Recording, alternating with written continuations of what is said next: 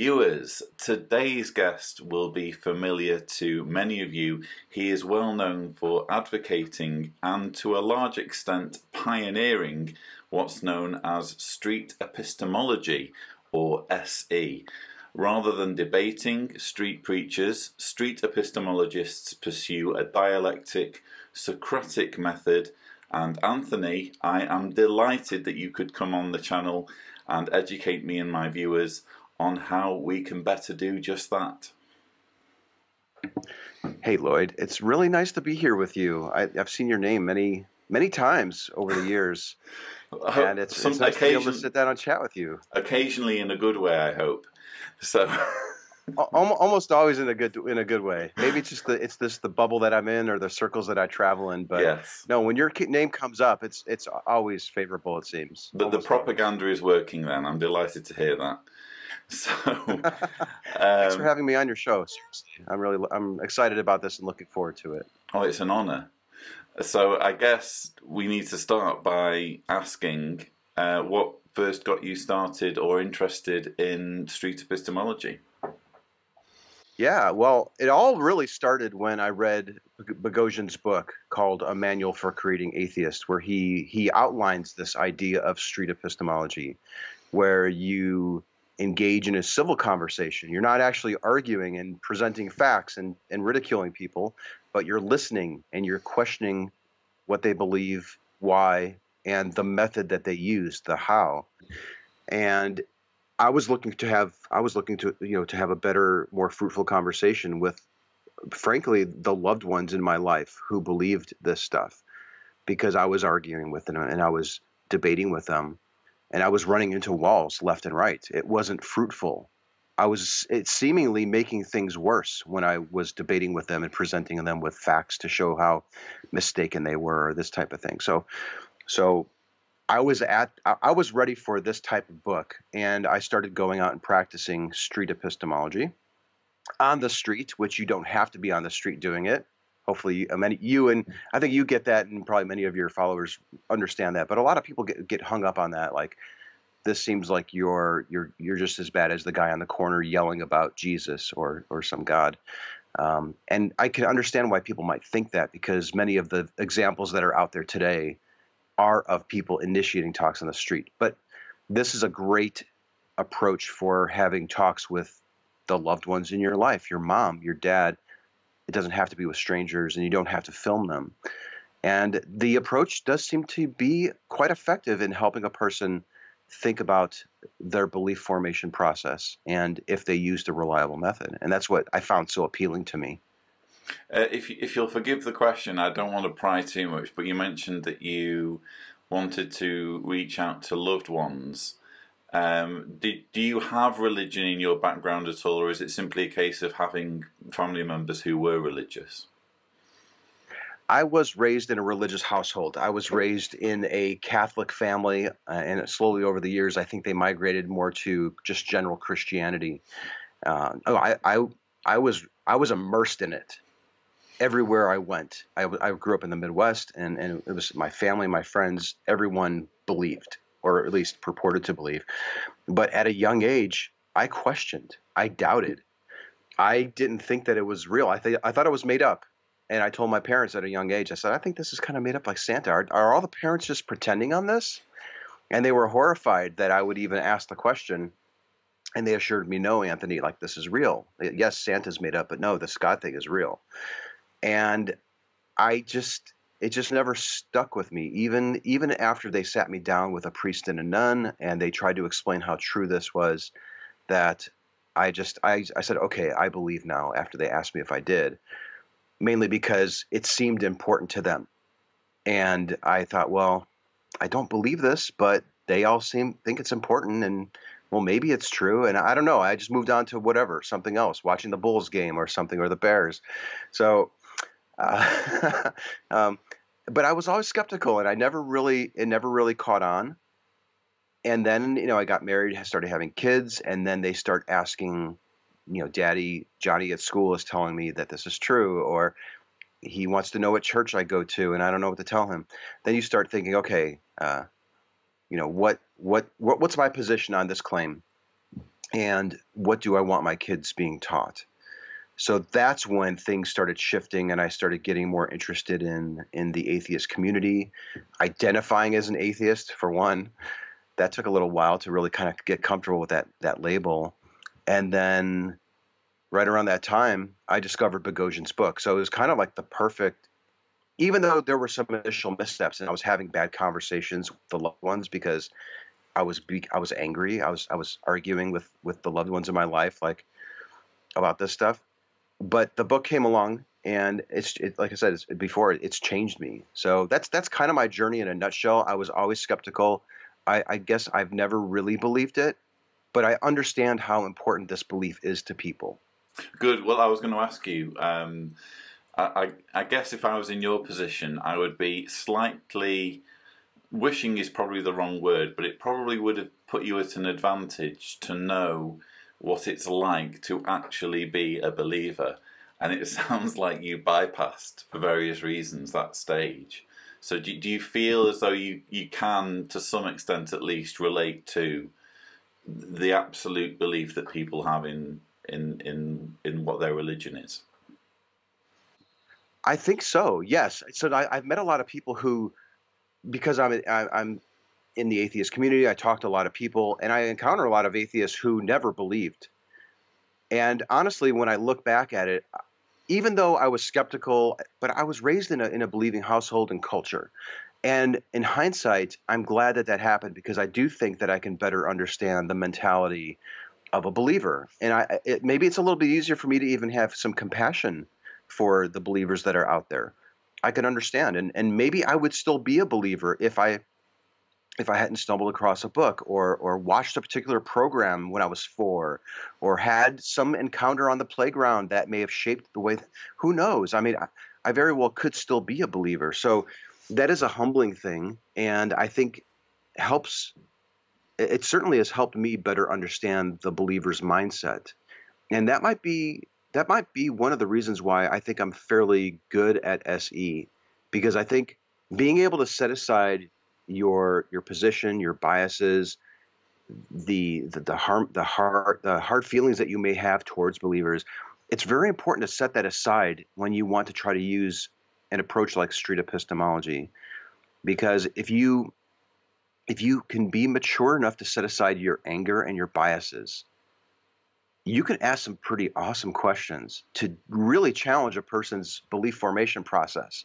So, um, it, has been it's been good. It, honestly, like I don't really I, I, wasn't abused as a kid. I'm not angry at God. Uh, nothing tragic happened to me to get rid of this belief. I just never never really never really took. But I, I have an appreciation for the people who do believe, if that makes any sense. I yeah. can understand where they're coming from and it's easier for me to have some sympathy for them.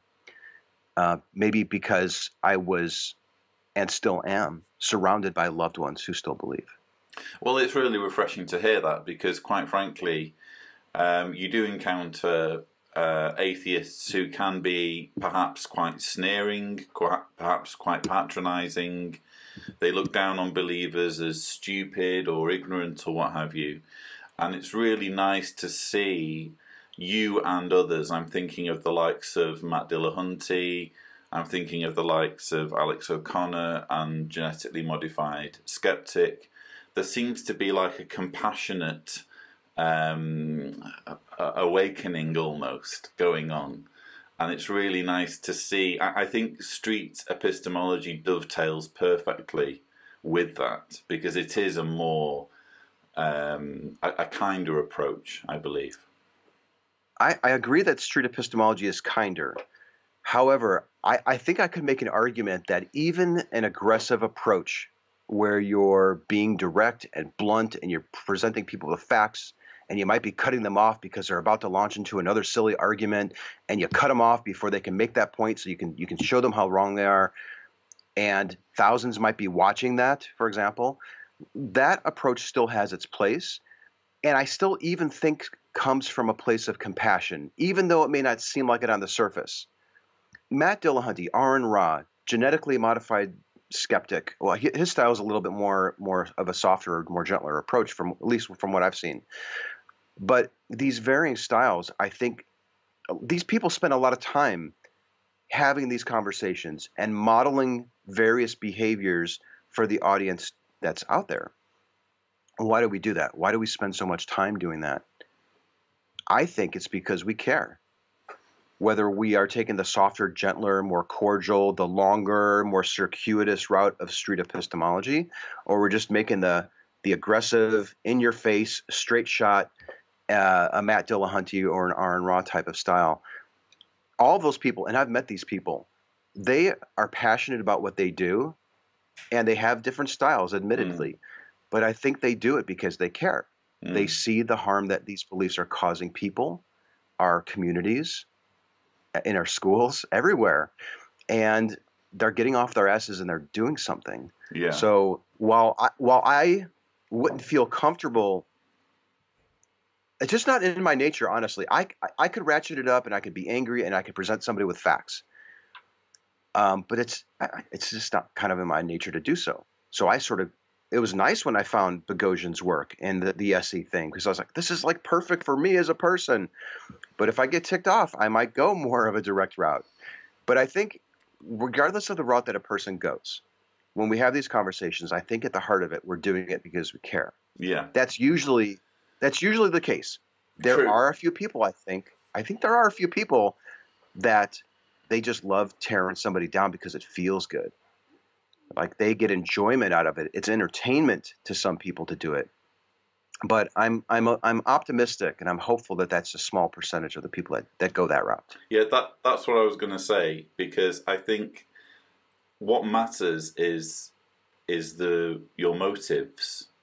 Your motives are key, I believe, because if your motive is to entertain, or your motive is to you know get stuff off your chest or rant or pursue your own healing, that is gonna impact on your productivity when it comes to this conversation because when you say aggressive i'm i associate that word with perhaps harassing people who are on the streets. You know, you, you do get videos of ex witnesses act, actually confronting Jehovah's Witnesses who are doing cart witnessing and perhaps even knocking their literature off and shouting at them and forcing them to move along and that kind of thing. When you say aggressive, yeah. what you're meaning is being blunt and putting things to, to people bluntly, I think, is what you mean. I think I agree with you there. Yeah, yeah. when I say aggressive, I mean uh, telling somebody that they're silly for believing that the Earth is six thousand years old. That's yeah. a ridiculous thing. How how could you possibly believe that? That's what I'm talking about. Yeah. No, I, I'm I'm not equating that with turning over the turning over the carts and spitting on people who are who are preaching mm. or you know whatever I don't I don't even like it when I see videos of people who I've seen this lately where if there's a street preacher the the the the, the ground staff of the universities will come out with their weed whackers to or their their their air, their leaf blowers to drown out these voices. I don't like that. I, I, I that's not really. I, I just yeah. That, I think that crosses the line. Mm. So yeah, I'm not advocating for for assault or anything well, like what that. What you're like, saying is it's okay to be blunt sometimes, uh, and I would agree with you. And, and, in fact, it was watching the bluntness of the the likes of Christopher Hitchens that really thought. Mm-hmm. And I was I was thinking, gosh, that he's being so naughty putting it like that, but I can't argue with it. He's right, you know. So you do sometimes need that as a as a believer. Um, yeah, I, I, I wouldn't be here saying, listen, everybody, you need to start, you need to stop debating, and you need to stop providing evidence because it doesn't work. I'm not advocating that at all. What I'm, what I'm, what I'm telling everybody here is why I've been promoting this method of street epistemology for five years. Is if it's not in your wheelhouse, if you're not comfortable being the aggressor, using my definition of that word, mm. aggressor, uh, or if if it's not the right venue or in line with your goals, and you recognize that you're not there to help the person uh, that you're speaking to, but you're, you're, if you're if you're looking to change, like like let's say I don't know, like Hitchens appealing to an audience of ten thousand people, his aggressive style might actually be great, especially if it's being recorded and people are watching that. That in itself could change a lot of minds. It can help a lot of reflect. But using that approach in a one on one talk with a loved one or even a stranger on the street, even that preacher in a one-on-one conversation, I would not advise you use that direct approach. Yeah. I think the the street epistemology approach is so much better. Indeed, it, it's um, we say horses for courses in uh, in the UK. I don't know whether you use that expression, but you, you adapt, don't you, to, to the different scenario. Um, you mentioned before a little bit. Uh, you've already described, I think, in our opening exchanges, a little bit about what uh, street apology is. I'm just wondering whether you can explain a little bit more about what its goals are and just clarify how it differs from challenging someone. That's a great question. Okay, so so we, we kind of talked about running into the frustration of arguing with somebody providing a person with facts to show that they're mistaken. And SE is not that at all. In fact, when you are really well versed in a particular dogma or doctrine, you can possibly even end up shooting yourself in the foot quite a bit. So, the less you know about a topic, the better I think it is when you engage in street epistemology, which is essentially asking questions, building some rapport, you know, setting the tone to be very friendly, and to even even get consent too. Like, hey, um, I'm really curious as to why you believe this thing, whether it's a god or a ghost or some other political stance or whatever. And can we can we just have a, a conversation where I ask some questions to figure out what you believe, why you believe it, and more importantly, how you determined that those reasons are valid. And it's interesting how simply asking questions and being polite and and reflecting the question back or uh, the answer back. So when if I ask a question and you give me an answer, I might say, "Okay, Lloyd, so if I understand what you're saying, the main reason why you think your God is real is because of this. Is that what you're saying?" When the, when a person hears their reasons come back to them, sometimes it could be a little shocking like did I really say it? I've even had people say that. Like, did I really? Is that the? I know. It, I've even had people say, now that you're saying it back to me, I understand how silly it seems, but let me explain why it's not. You know, so you can you can really get a sense of people hearing their own thoughts coming back to them and moving at a very respectful speed where you're not overwhelming your conversation partner. This is this is about making a person feel comfortable, uh, mod- modeling openness so that they will be as open and honest with you as possible. And you start peeling back. So rather than giving all these reasons why you're wrong, Lloyd. I want to hear all the reasons why you're correct. And the act of explaining that is extremely revealing. And what we find is with, with God beliefs in particular, is that the epistemology or the way that a person is coming to know that that belief is true is not reliable. Usually, what, it, so me saying, you believe that because of that, that's just ridiculous. But if a person discovers that on their own with a respectful partner who's listening to them and not misrepresent, not misrep, and not misrep, gosh darn it, and not misrepresenting, and not misrepresenting what they're telling you, they're basically having a conversation with themselves on this deeply held belief, and it's a powerful thing to see it happen. And I've I I, am not sure if I mentioned it, but I go out with the camera and I record these talks and then I upload them to my YouTube channel. I have several hundred on my channel where it's pretty evident that the person is thinking about this belief in a way that they may have never thought of before, especially if you were in their face and giving them evidence and that type of thing. So, so this this street epistemology approach is very largely based on the Socratic method. This probably for people who who are in, interested in your content, they're probably aware of the Socratic method.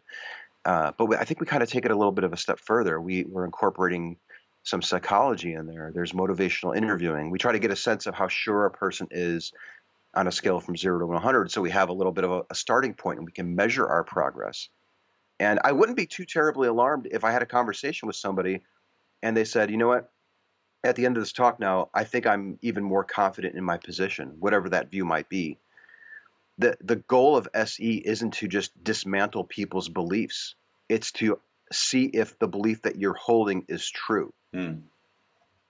And it's a dialectical to figure that out, and it's it's wonderful. I love it, um, and I, I can't, I really can't see ever wanting to to go back to debating or or using counter apologetics. Honestly, when I watch it, I, I get like I've seen videos of of Jehovah's Witnesses getting demolished by very rude people, and I feel sorry for the Jehovah's Witness, and I think it makes atheists look terrible when we Mhm. do that. Mm. Now there may be JWs who are watching that exchange and thinking, "Oh gosh, that even though that guy was a jackass, he really crushed that guy," and that's the same reason why I think Jehovah's God. But the person who was on the other end of that is not going to change. Probably, he'll, he'll, he or she will probably be more resolute in what they believe. Mm. And and w- when we have conversations with people, typically we don't go the apologetic route. Oh, I'm sorry, we typically do go the apologetic route. Um, but listen, if, if you if if you and your viewers, um, you know, find this interesting and start learning about it, I think it will fundamentally change the conversations that you have. I really do, for the Yeah. better. Oh, definitely. Um, I've, I've, I don't know whether you're familiar, but um, I've dabbled in it a little bit myself. I'm fairly limited in how much street epistemology I can do because I live in a non-English speaking country and uh, I don't speak the local language all that well. But I did try some street epistemology in my trip to the United States last year. I had a chat with a Jehovah's Witness who happened to be preaching in Disneyland of all places. Why they let witnesses in there, I have no idea. Hmm. But it was it was. I mean, I, I didn't go into it thinking I'm going to do street epistemology. It was just that the and I was kind of familiar with it, but the approach that I took just organically happened to be more or less what you've described. I didn't really want to debate. I didn't want to challenge. I just wanted to hear them say in their own words what their beliefs are because having been a Jehovah's Witness, I know how ridiculous the beliefs are. I want to hear them Mhm. say it. Uh, and what ensued was a, a very interesting, or for me at least, it was a very interesting conversation. Um, I know you've had numerous encounters with Jehovah's Witnesses, and indeed some of them are on your YouTube channel. Is there anything unique about your encounters with this particular denomination? Mm. Well, yes, I have had a few conversations with JWs, not as many as I would have liked. Hmm. Usually, when I when I run into a Christian, so so what I first do is I just say, "Hey, can you you- can you have some time to talk about a belief?" And then you can even pick the belief. So it's conceivable that I've talked to a Jehovah's Witness who just brought up a completely different belief we've investigated. But okay, so um, I have talked to a few JWs, and I've even had some come to my door.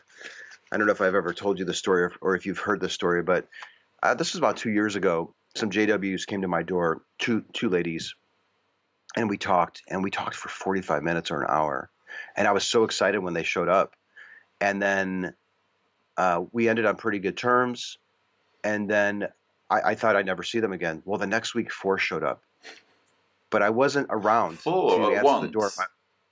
Yeah, four showed up. That that's very highly irregular by JW protocols for four people to show up at once.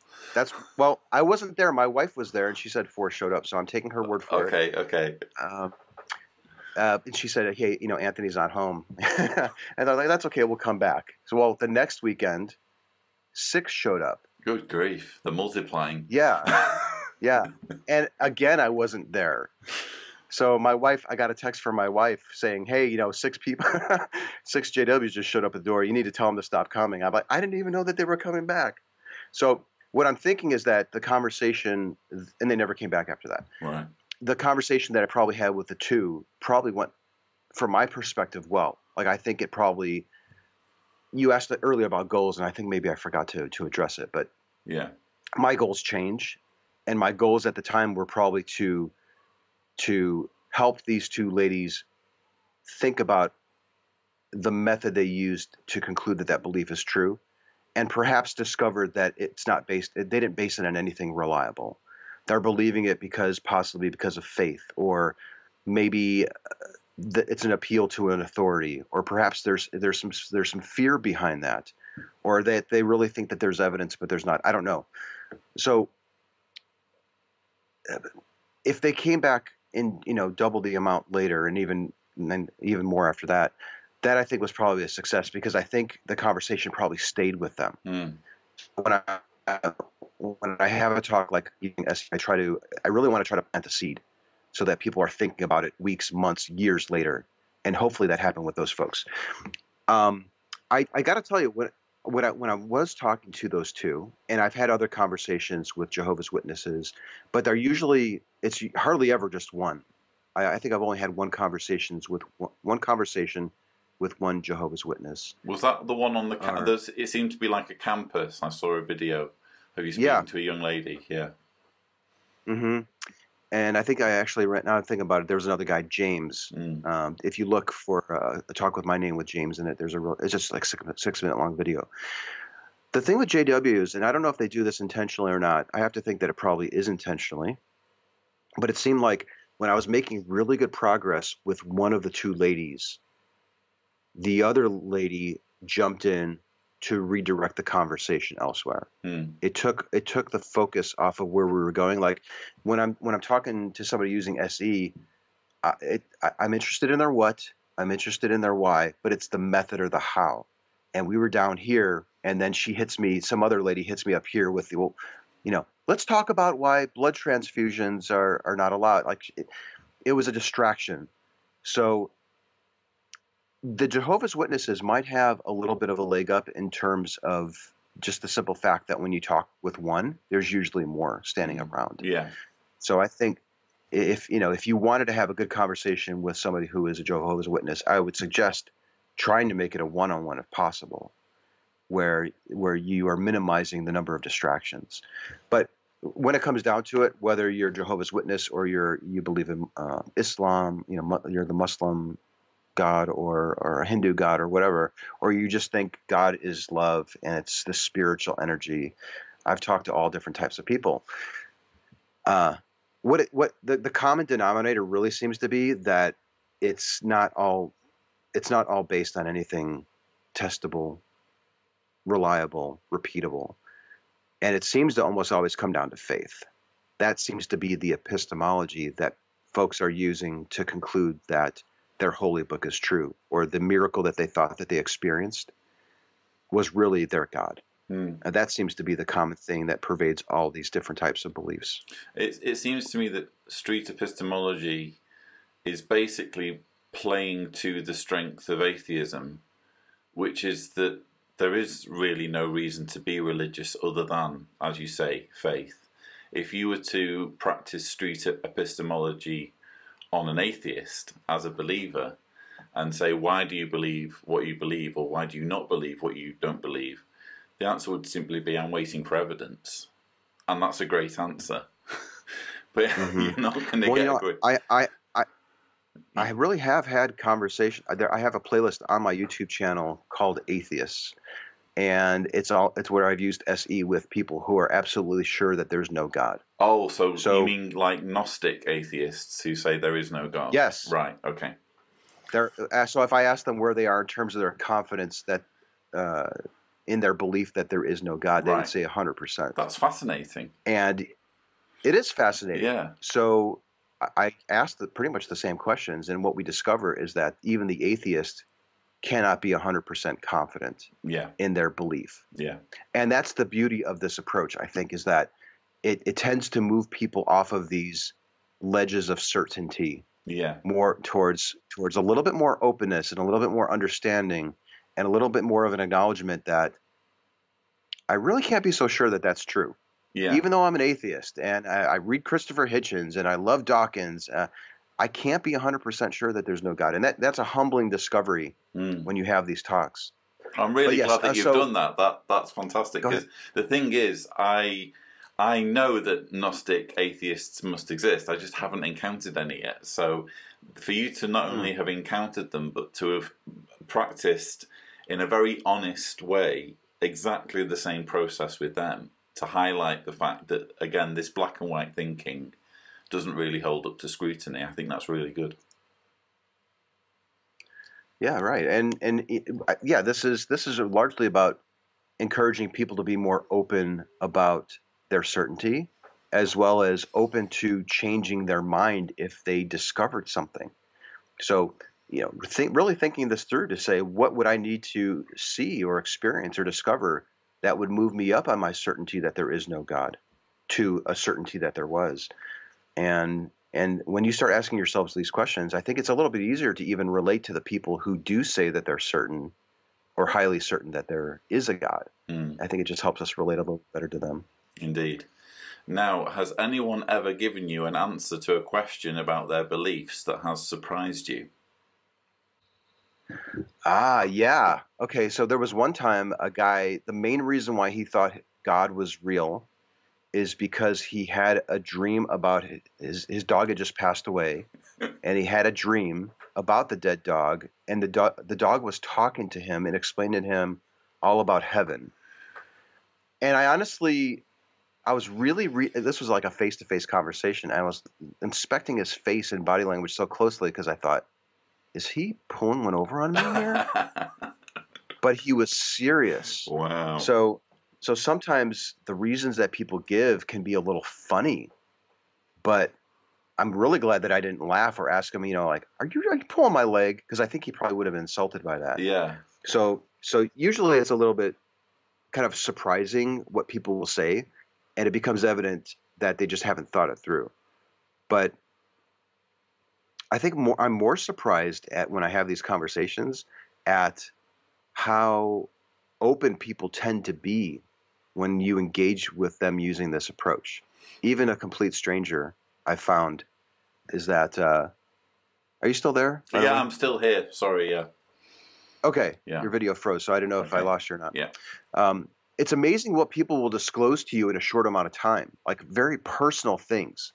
So they may say, I was molested when I was nine years old, or something like that. Like, and I, I just met them seven minutes ago, and they're they're they're revealing some very personal things. So that has been a little bit of a surprise. And also, I think another surprise was discovering that just because a person lives in a secular country, like I was in Oslo about three months ago, or just because a person doesn't believe in a God doesn't mean that they've used a reliable process, a reliable foundation to build other beliefs. I've met atheists who think that they have a soul or think that that karma is real, that there's some entity making sure that balance is happening. And and that was a little bit of a surprise. Mm. I thought, oh my gosh, if somebody is if somebody has discarded a God belief, they've got to be these logical, rational creatures. And another discovery is that I myself am not a perfect person when it comes to my belief formation processes. I'm I'm fairly confident that I have a whole bunch of beliefs that are not true and I'm you know I want to figure what which, figure what those are so that I can stop believing those things. But those are probably been some of the bigger surprises I would say over the years of doing this. Fantastic. I just um, to fill you in. I don't know how much you know about the the process of evangelizing for Jehovah's Witnesses, but they actually report their time. So they, when you approach a witness, especially if they're already engaged in the preaching, they are counting every minute that you're talking to them and actually literally writing down that figure on a piece of paper and handing it to one of their elders at the end of the month. So, oh my gosh, yeah, yeah, wow. So in a way, in a in a strange way, you're kind of doing them a favor by because they will be filtering this whole experience as this is me preaching to him. He thinks he's asking me a bunch of questions, but actually I'm giving a witness. Haha. mm. Little does he mm. know, mm. sort of thing. And so that whole dynamic yeah. that you were describing earlier of, of someone else cutting in, that's probably where someone else has noticed that this isn't going the way we we want it to go and we need to steer it back onto because there's a, basically it's supposed to be a one way flow of information. They are supposed to be instructing you not you helping them understand how ridiculous their beliefs are. So um, mm-hmm, mm-hmm. that's what's going on when someone interjects. That's interesting. Yeah, I, I didn't realize that they had a that they were actually keeping a tally yeah. And it makes me wonder: Did the person jump in because they thought, okay, this lady, she's uh, Julie's had 20 minutes out now with this guy. I, am I'm, I'm due for at least 15. Exactly. That's interesting. Exactly. Yeah. so yeah, a little yeah. bit of insider knowledge there. Um, have there? You know, th- Yeah, go on. I was going to say there, there has been some talk. Like Boghossian wrote his book, I think he even suggested at one point, or I don't know if he did this during a talk. There seems to be this under this idea that Jehovah's Witnesses are tougher to use this method with, and Hmm. that really hasn't been my experience, honestly. Other than the idea that uh, they might be pairing up and possibly distracting you from making progress. Hmm.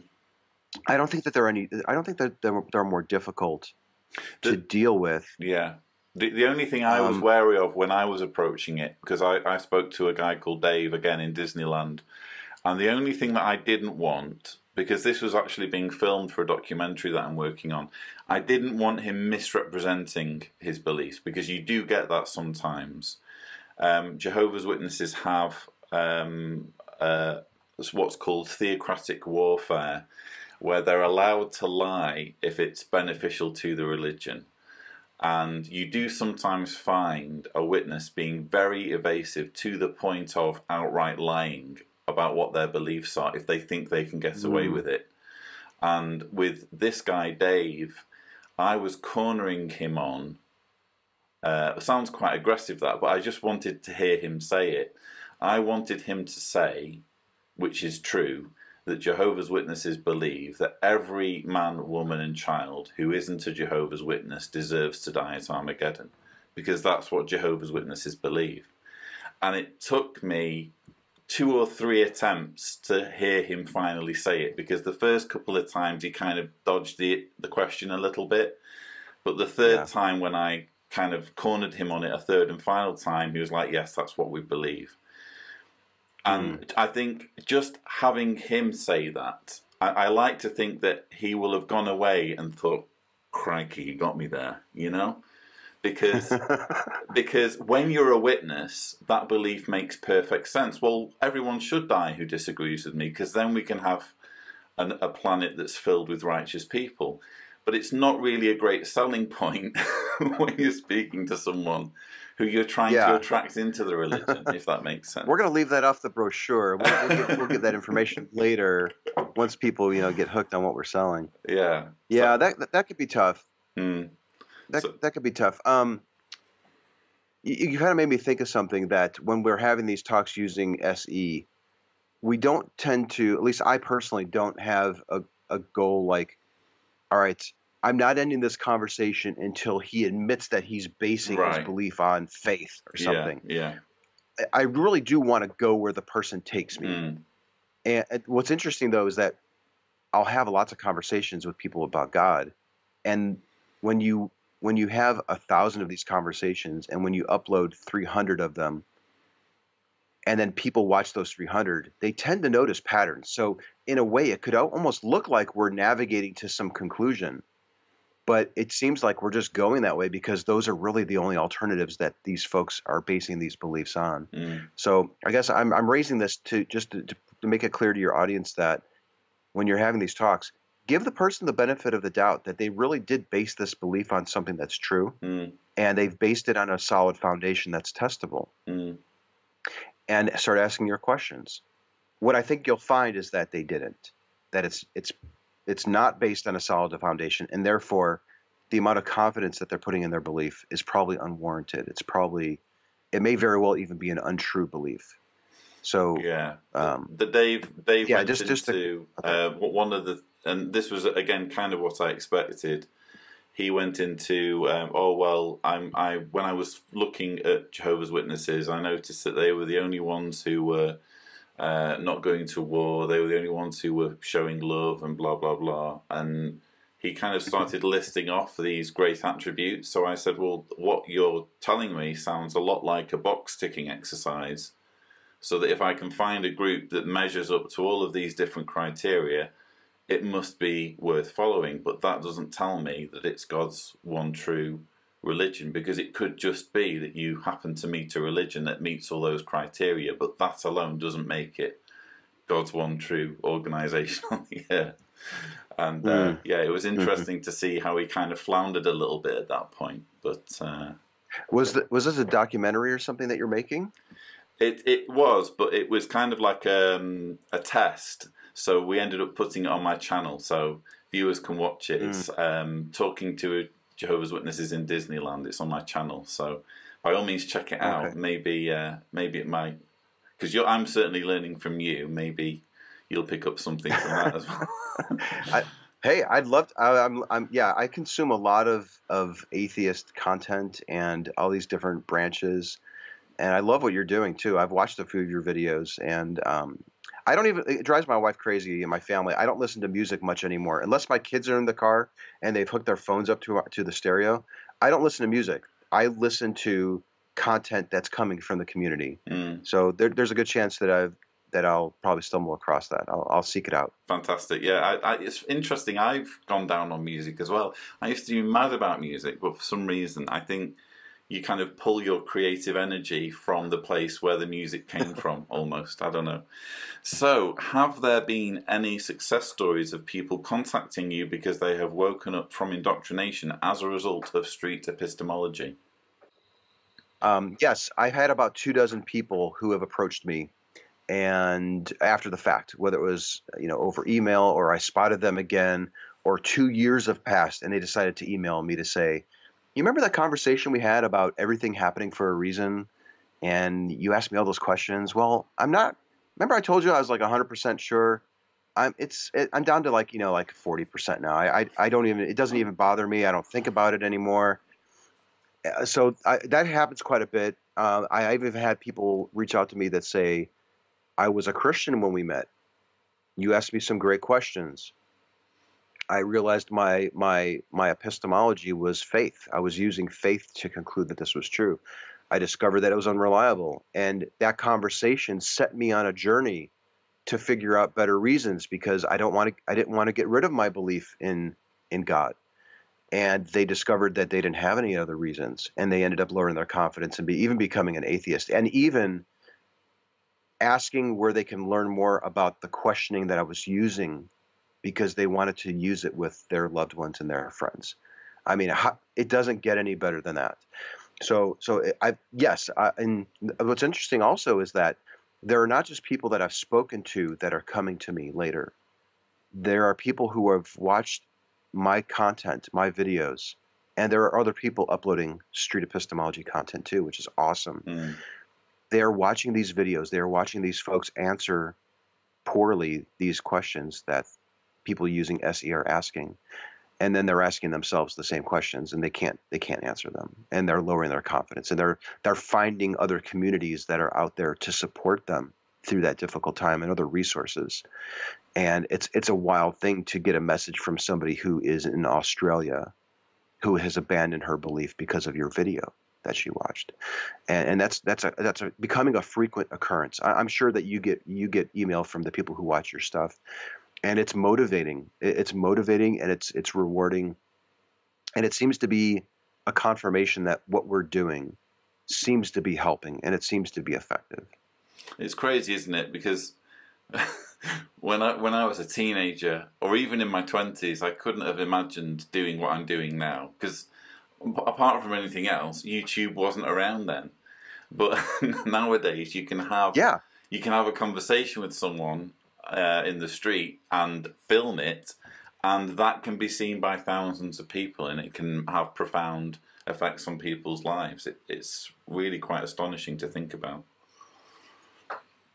it's it's fa- it's fantastic, and it's great to even have shows like yourself to help us spread the word about this method, because I think the more people that understand this tool set of street epistemology, and they you know you can decide when to use it. I, I used it in an Uber a month ago when a guy said that he made some this outrageous claim, and I was able to use street epistemology gently question what he believed, and he ended up thinking about it, and maybe he even discarded his his ridiculous view on on it was just crazy what he was thinking but it, it's it's it is wild how the technology today has helped us reach these folks Mm, indeed. in fact you know when when i after i read Boghossian's book i started looking for video examples. Youtube was the first place that i went because i wanted to see people doing this. And i was like okay well if this book is real is, is legit and this this technique works where are the examples? And there weren't any at the time.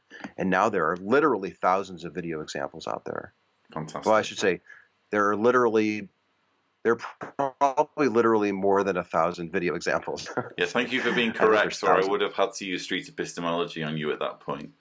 Um, and I would welcome you to do so.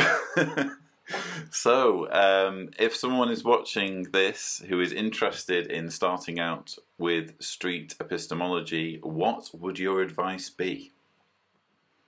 Oh, my advice for people who want to start using this method. Well, nothing sells it more than watching an exchange.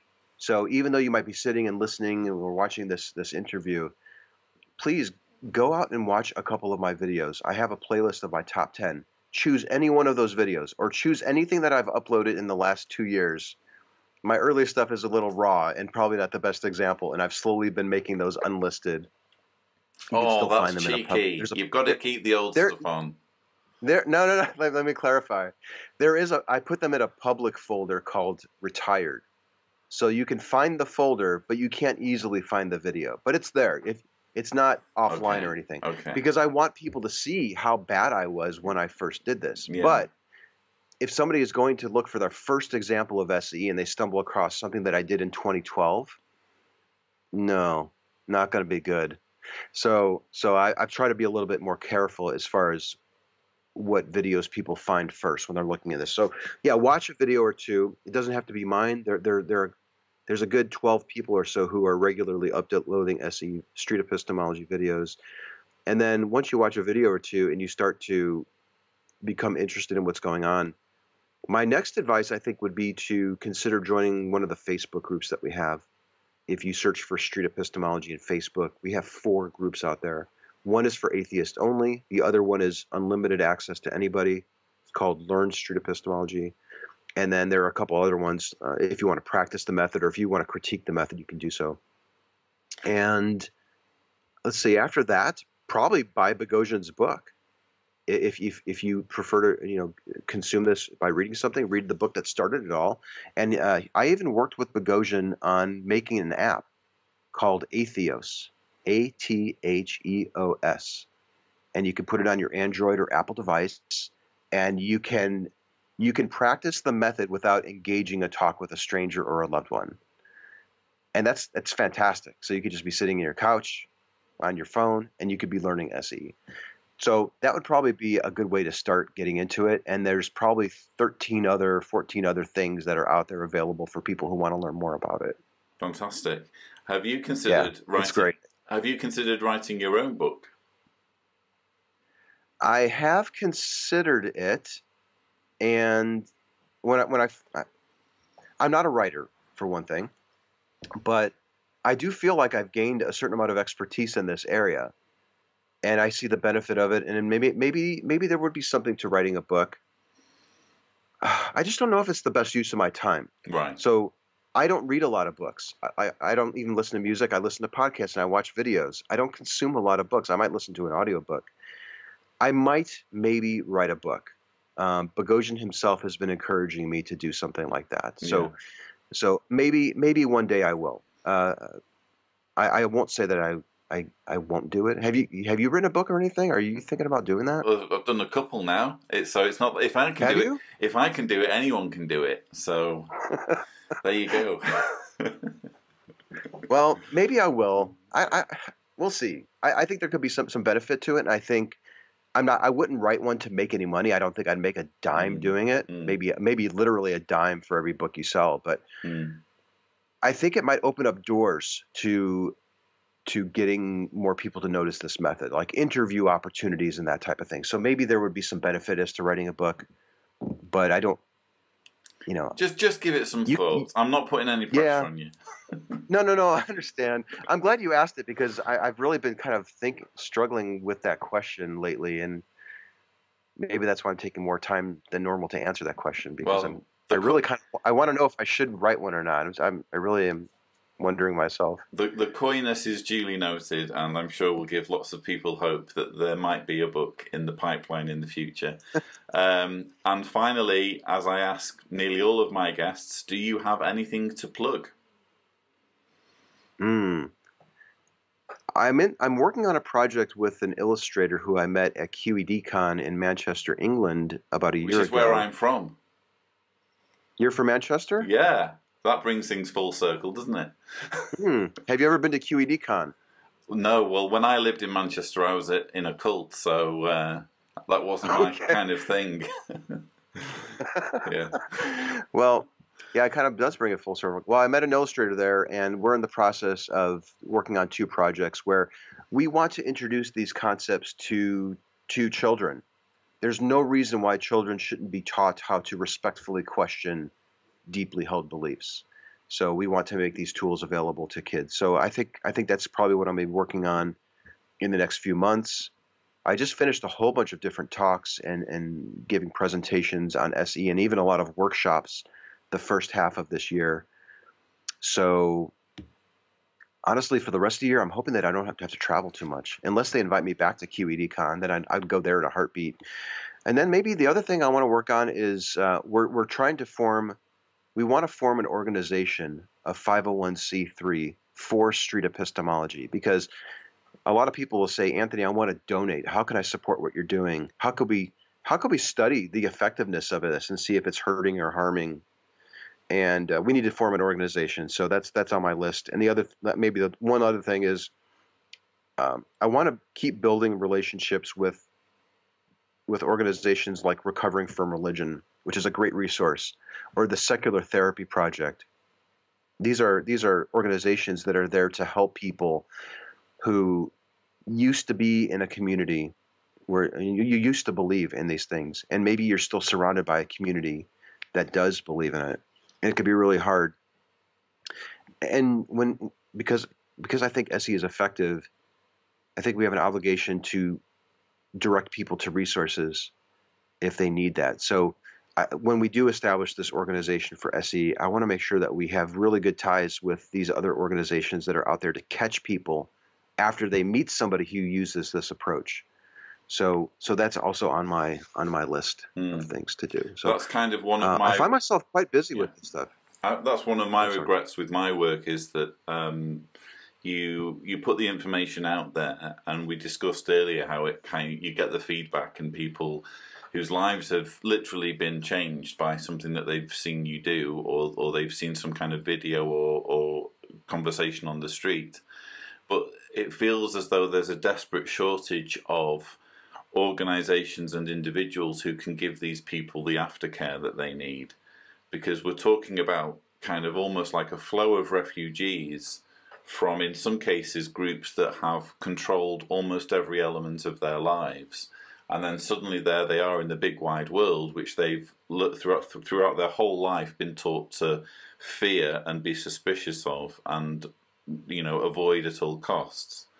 And it's a shame, really, that there, are, there isn't kind of a more clearly defined kind of catchment zone where all these refugees can go to and, and get debriefed on what's happened. So the more work we Yeah. can do in that direction will be fantastic. Yeah. The resources are out there. I think a lot of people aren't aware that they're there. So Mhm. I mentioned recovering from religion. I myself started a group. It's called Emerging Faith, and it's just a Facebook group, but we have I think almost 150 people in there.